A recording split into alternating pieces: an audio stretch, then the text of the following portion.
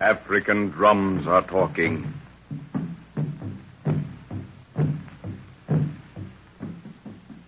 Land of serene beauty and staring horror. Slimy rivers and parched plain. Where nature laughs in a thousand voices to mock the efforts of civilization. Where masked murder thrives and hides itself behind the cloak of life. This is Africa.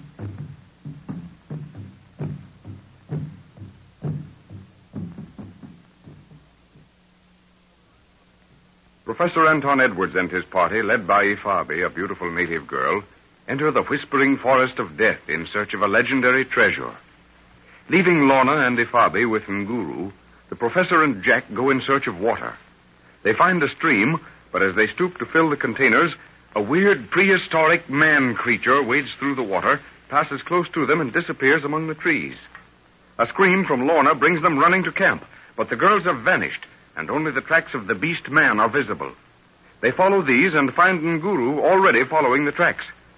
The trail leads them to a lake, with the huts of prehistoric lake dwellers skirting the shore. All is quiet, and the professor believes that the man they're following is waiting in the fringe of the forest for the moon to be obscured before carrying his prizes across the open space between forest and lake. The three men intently watch the curving edge of the forest as a cloud moves eerily across the moon. Something moving across this edge, sir. It's keeping close to the trees. Where, Jack? Follow the line of my finger. It's moving outwards now. Yes, I've got it. Going down toward the lake. That's the fellow we're after, see? Yes. He's carrying the girls, one over each shoulder. Wana, Nguru, go catch him. Plenty good fight. No, Nguru, we can't do it that way. I wish we could. One yell out of him, and we'd probably have the whole village to deal with. We must watch and see where he goes, then try to do things quietly. He's making for the bridge of that hut, straight ahead of us. Doesn't seem to be anybody moving on that one.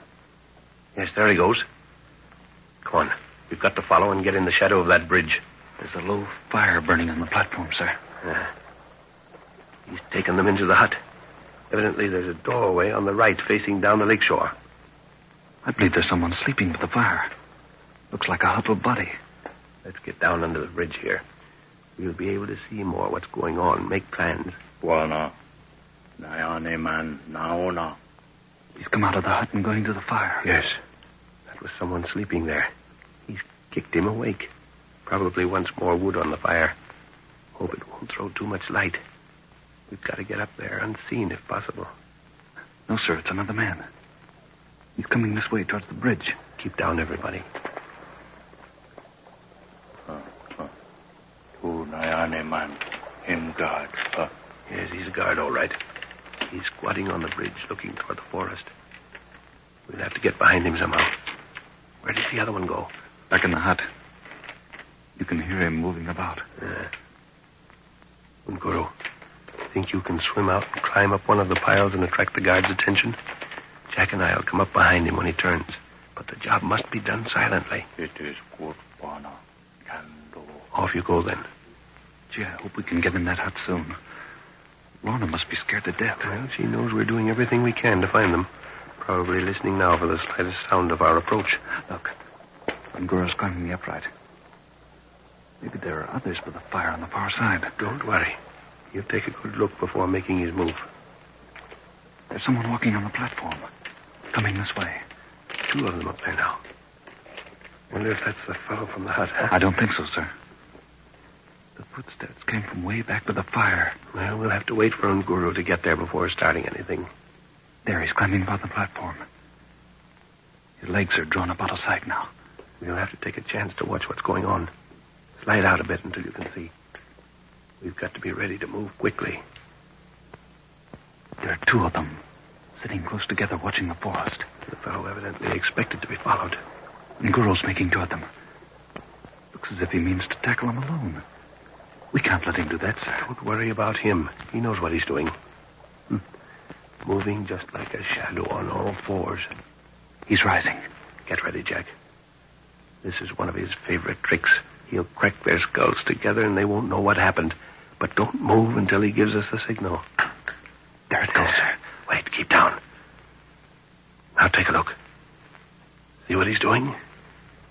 Why, uh, the The two guards are still there. And Guru's lying in their shadow, holding the unconscious bodies upright. That's in case someone heard the noise he made. If anyone comes out to take a look, everything appears to be normal. There's the signal. Come on.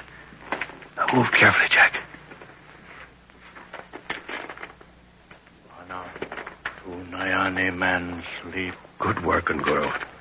You'll have to stay here and watch them. You know what to do if they start to move. I Aye, Bwana. Come on, Jack. Try not to swing the bridge as you move. It makes a confounded racket. Sounds as though you were right, sir. He's sleeping. There's the entrance. Have to get in and take a chance with the flashlight. It's too dark to make anything out. When I switch it on, take a quick look around. Get the lay of the place. We'll have to work in darkness after that. Okay. Father, Jack, is that you? Have you got it? Yes. They're sitting with their backs to the center pole. He's sleeping on those skins to the right. Move in gently. The girl's arms are tied behind them. Oh, Jack, I knew you'd come. Are you hurt here? No, just terribly frightened. How did you find me? Never mind that now. Use your knife on those thongs. Saw through them. We'll never get them untied. You all right, Bobby? Yes, what man? The hour is not yet sorry, Bobby. She's been wonderful. Hush. He's moving.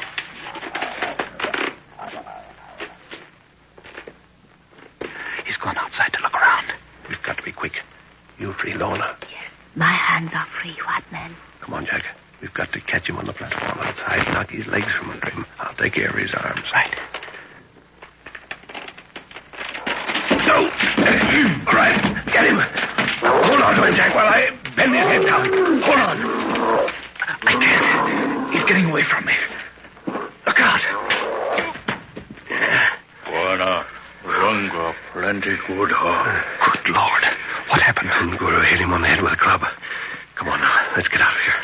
Lorna, Bobby. They're here, sir. Up the beach into the trees as fast as you can. Now get going.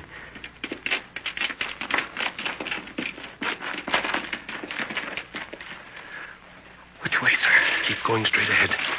Thanks, Guru. That's another time you pulled us out. I couldn't bend that thick neck for the life of me. No crack 'em neck, huh? Too big. Head him plenty hard for Ronga. See? Well, that's a perfectly good war club, all shot to pieces. Do you see that, Jack? Take a look at it. Why, it's split down the middle. Yeah. Head of a gorilla wouldn't make that impression on it. Well, thanks again, Nguru.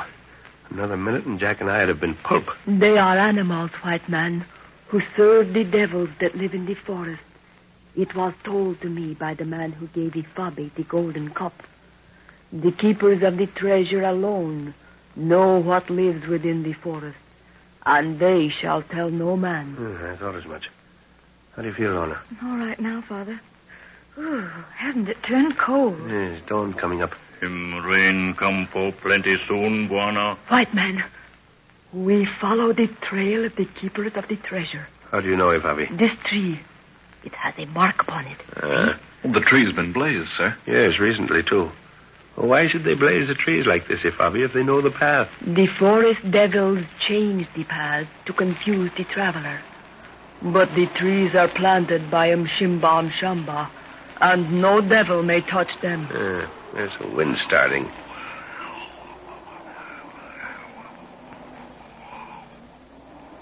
Hmm, we're going to get soaked in a few minutes. Better crawl under some of these large ferns. They'll give us a little shelter anyway. Ifabi goes along the trail while the white man shelters himself. She will return. Why is that? Aren't you afraid of the forest devils? The rain will keep the devils busy, and Ifabi should know the way that we may travel faster.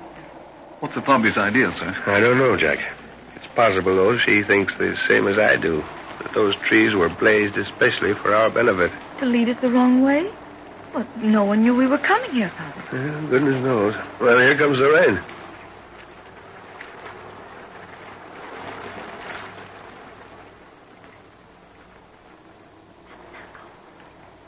Tango. It is I, Ifabi. It is well. I have followed faithfully and waited long. You will not wait much longer, Adako. Uh-huh. Ifabi, what of the white woman? The devil's servant shall find her tied to a tree.